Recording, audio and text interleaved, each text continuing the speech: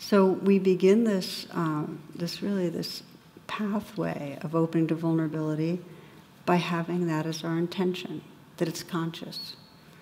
That the next time you're with somebody that matters to you, there's something in you that goes, oh yeah, this might, to be real, this might involve a little bit of rawness, a little bit of discomfort, embarrassment, whatever, vulnerability.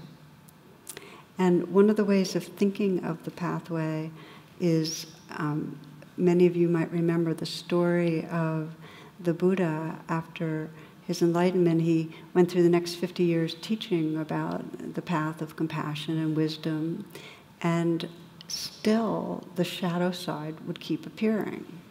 Um, all the feelings of vulnerability, of fear, of hurt, of anger, all the intense passions would come up. And so when Mara, that was the god of all the shadow side, would appear, often the Buddha would be teaching. He, there'd be a big field of people, and Mara would be lurking around the edges. And as the story goes, Ananda, who was the Buddha's loyal attendant and, and beloved friend too, follower, would see Mara and go, Oh no, this is bad news, bad, bad, bad. Mara's here. And he'd tell the Buddha, and the Buddha would say, Oh, no, no, no, it's okay. And he'd go over to Mara and say, I see you, Mara. Let's have tea.